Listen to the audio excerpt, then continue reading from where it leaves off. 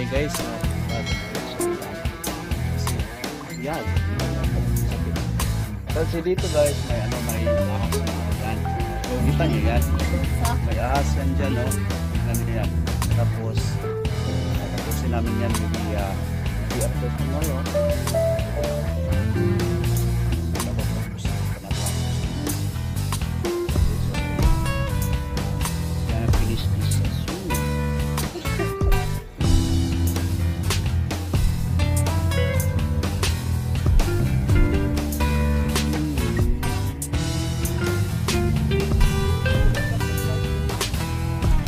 嗯对就带你